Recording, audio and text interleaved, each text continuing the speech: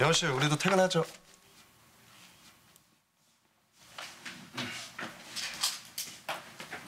남동욱 기자님 아직도 생각하고 있는 거예요? 지금 내 옆에 있는 팀장님 생각하면 이미 지나간 일에 집착하면 안 되는데 자꾸 마음에 걸려서요. 저 영원 씨한테 과거 일은 잊고 저만 봐달라고 안 할 겁니다. 어떤 게 진실인지 좀 더 알아봐요, 우리. 팀장님, 영원 씨가 걸리는 게 있다면 저도 마음이 편치 않아서 그래요.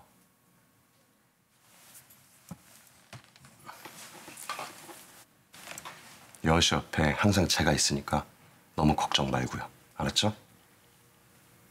그럴게요. 야, 우리 영원 씨 오늘 처음 웃었다. 그만 가요, 팀장님. 집에 가기 싫은데.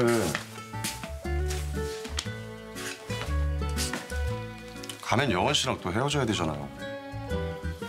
마음 같아서는 우리 예쁜 영원 씨 가방 속에 넣어서 집에 가서 꺼내보고 싶은데. 아, 저 가방에 안 들어가요. 어? 그러면 뭐 어떻게 들어가나 안 들어가나 시도나 한번 이렇게 이렇게 이렇게 아, 너무 작 아,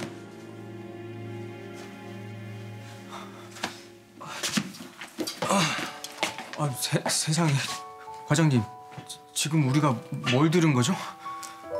팀장님, 가방에 뭘 넣어 가시고 싶다고요? 예쁜 여원 씨를 넣고 싶으시대. 드세요.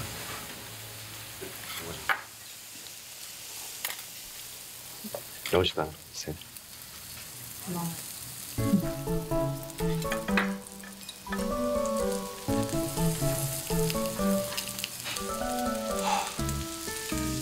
바로 코앞에서 멜로 영화를 찍고 있었는데 1열에서 봐놓고도 몰랐다니. 배대리, 우리 내일 당장 안경부터 맞추자. 아니 어떻게 눈치를 못 챘지? 두 분 진짜 언제부터? 미리 말씀 못 드려서 죄송해요. 여원 씨니까 내가 팀장님 양보하는 거예요. 딴 사람 같았으면 어림도 없어. 우리 팀장님이 목숨 걸고 좋아하신다는 분이 여원 씨였다니. 그러게. 씨 먹으면서 사과합시다. 얼른 먹어.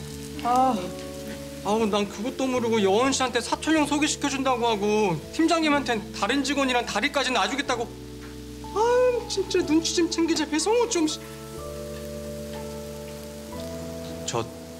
두 분한테 미운 털 단단히 박힌 거 아니에요? 네. 덕분에 저 얼굴도 모르는 배대리님 사촌 형 많이 질투했습니다. 영원 씨도 그랬죠? 전 아닌데요. 어? 맞으면서? 그때 분명히 휴게실에서는 아!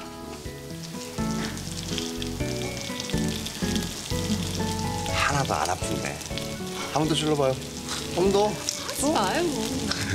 부러워서 더